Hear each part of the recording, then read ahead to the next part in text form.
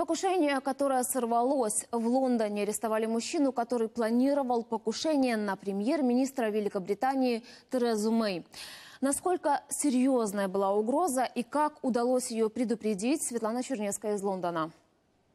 Несостоявшийся теракт в центре британской столицы. Уроженец Лондона собирался подорвать Даунинг-стрит 10. Его план был таким. Сначала привести в действие самодельную бомбу возле этих ворот, которые ведут в резиденцию премьера. Потом, воспользовавшись паникой, распылить перечный газ и пробраться внутрь здания. Главной мишенью преступника была лидер британского правительства. Неймур Закария Рахман собирался напасть на нее с ножом, а после ее убийства подорвать себя с помощью пояса смертника.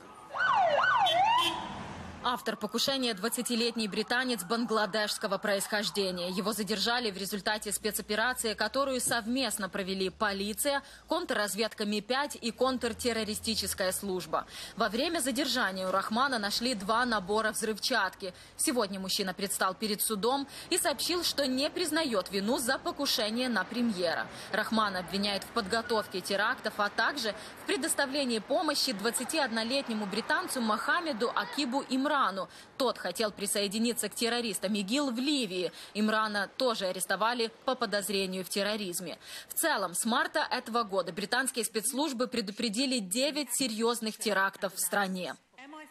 Ми-5 и контртеррористическая служба на данный момент ведут более 500 операций. Это на треть больше, чем в начале года. В разработке около трех тысяч подозреваемых. К тому же есть еще 20 тысяч человек, которые раньше попадали под следствие и могут опять представлять угрозу. В стране до сих пор высокий уровень террористической угрозы. Это значит, что масштабная атака может произойти в любой момент. С начала года в Британии осуществили пять терактов. Их жертвами стали более 30 человек.